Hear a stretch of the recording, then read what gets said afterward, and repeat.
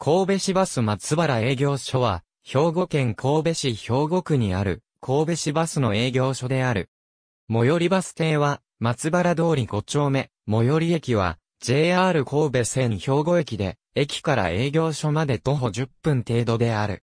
配置車両に表示されている営業車を表す記号は、松である。灘区、中央区、兵庫区、長田区、須磨区南部を通る路線を担当している。また、運行はすべて阪急バスに委託している。運転使用時刻表や販売用カード入れに、市直轄の営業所のものとは、形式が異なっている。阪急バス標準形式のものを使用している点などで、違いを見つけることができる。一方、運転士指名表や名札は、市直営業所と同じものを使用している。また、車両の日常整備も、阪急バスに委託されており、阪急阪神 M テックが担当している。運行区間概要ダイヤ及び停留所運行区間、概要ダイヤ及び停留所運行の変形4、神戸駅前新海地兵庫駅前引く、西市民病院前引く、地下鉄長田駅前丸山第日旧住宅前、路線の形態かつての4系統正月三が日の運行形態歴史運行区間概要ダイヤ及び停留所7、神戸駅前。新海地港川公園西口平野、山本通三宮駅前中央区役所前から、磯上公園市民福祉交流センター9、神戸駅前大学病院前引平野、石井町港川公園西口、地下鉄、上沢駅前地下鉄長田駅前引く、西市民病院前から、兵庫駅前、吉田町一丁目神戸駅前から、新海地、夢の、名倉町を経て、板宿へ向かう路線である。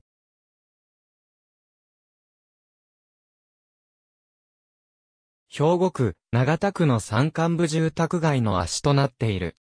以前は三宮まで足を伸ばす便や、大学病院、平野経由の便も存在したが、前者は、神戸市営地下鉄海岸線の開通に伴い廃止、後者は2005年度より110系統として、分離独立された。運行は松原営業所と、落合営業所の共同担当となっている。かつては、須磨営業所と、中央営業所も担当していた。神戸駅前板宿の投資、運用が基本で、1時間に5本程度運行されている。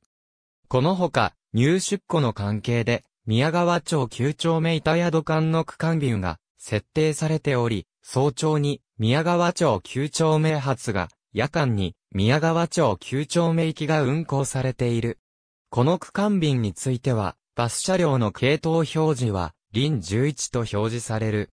全便が大型車で運行されているが、2020年4月1日より、主に64系統に使われていた若干車長の長いワンステップバスも運行されるようになった。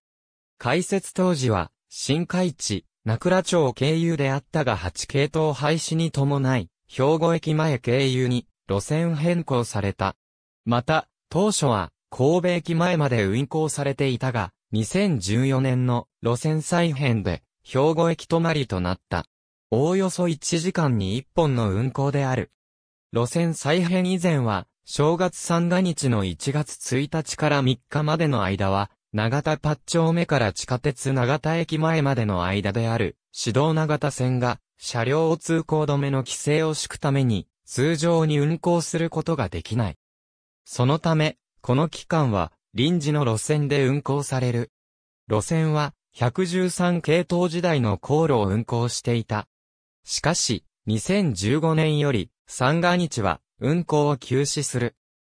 40、神戸駅前新海地港川公園駅前、菊水町坊王子町丸山第日旧、住宅前路線の形態もともとは落合営業所の単独運行であったが、2005年のダイヤ改正により、当営業所との共同運行になり、その後あたり営業所の担当が外れて落合、営業所の単独運行に戻ったが、2021年4月のダイヤ改正で、再び共同運行となった。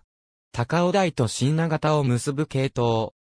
JR 高取駅北口にバスロータリーが完成した後、同じ天井川大田町2丁目間を走行する8、系統は JR 高取駅を経由するようになったが、本系統は従来通り JR 高取駅は経由せず、JR 高取駅を利用する際は、須磨警察署前で下車する必要がある。また、高尾台地区の交通機関はこれまで本系統のみであったが、2013年より75系統も高尾台まで乗り入れるようになったものの、本数はかなり少なく1日に5本もしくは4本しかない。始発から8時までと16時から最終までは1時間に1本であり、それ以外の日中は2時間間隔である。神戸駅前から大学病院、平野、名倉町、板宿を経て JR 高取駅へ向かう路線である。高取駅北口のバスターミナル完成に伴い、11、系統の大学病院、平野経由便を分離、延伸する形で、2005年4月から運転を開始した。五条防止のために、11系統時代の頃から青字に、白文字の方向幕を採用している。2017年4月のダイヤ改正で日中の運用は廃止され、朝晩のみの運用となっているほか、21時以降は、板宿止まりの便が設定される。逆に、板宿始発の便はない。分離して、以降、松原営業所の単独運行が続いていたが、2020年4月より、落合営業所も担当されるようになった。神戸駅前から、大学病院、平野、名倉町、全池橋、天井川を経て、JR 高取駅へ向かう路線である。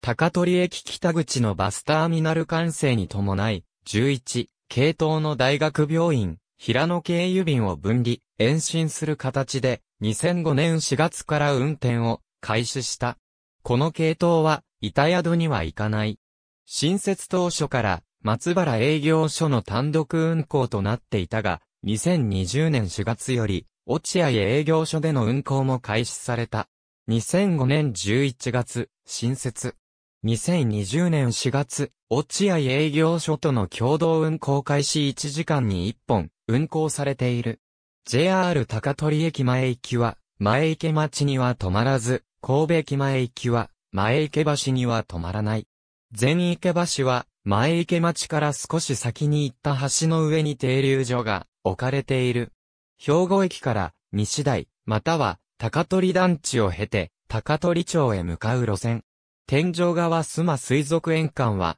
往路と袋で経路が異なっていた。